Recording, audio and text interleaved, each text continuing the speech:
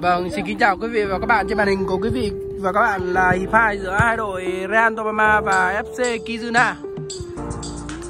Ở hiệp 1 vừa rồi 30 phút tranh đấu thì tỷ số đang nghiêng về 3-2 nghiêng về phía FC Real Tobama. Trong 30 phút vừa rồi ờ, người có lẽ là được nhắc tên nhiều nhất là cầu thủ Duy Hoàng và Quý Dương hai hàng công bên FC Real đúng không ạ? Đình Tùng. Chéo bóng vào cho Quý Dương. Khá đẹp đâu, có bóng trong chân rồi Hiền ơi. Không được. Vào rồi.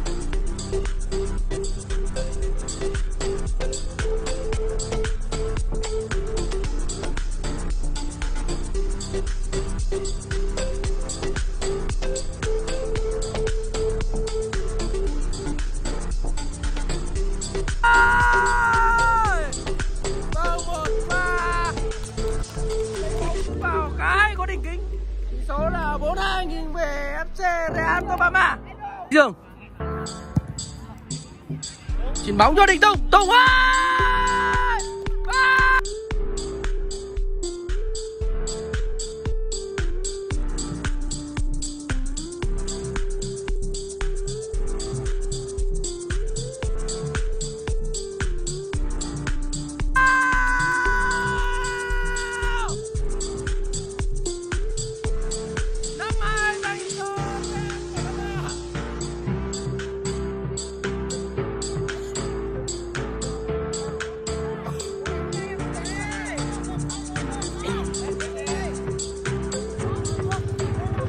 và phối hợp rất nhịp nhàng bài bản.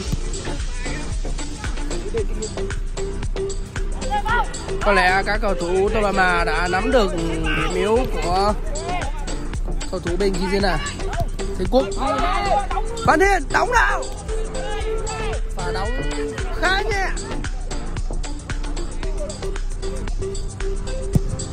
Sút xa, rất tốt.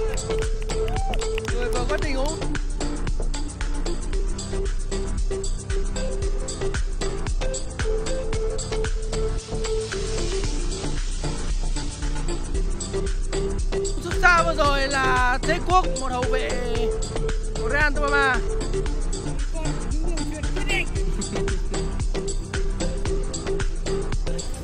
lực sút là rất căng và bóng đi tầm thấp. Có lẽ những tầm thấp như vậy là điểm yếu của thủ môn bên Kizuna tỷ số đang là 6-2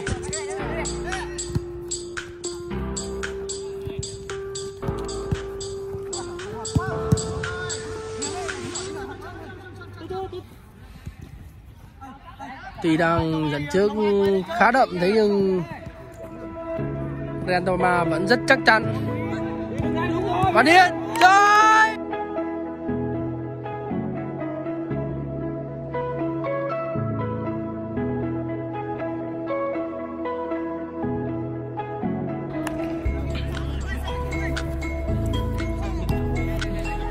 bóng đang trong chân Kizuna. Và với một đường lối triển khai bài bản nhịp nhàng và một hàng thủ chắc chắn. Xuân Huy, ba!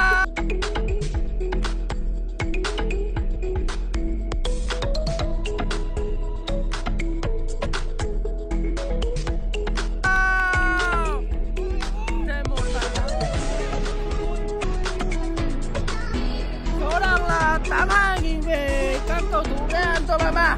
Vâng và đây, trên khán đài, cũng như các bạn đã thấy những bóng hồng rất xinh xắn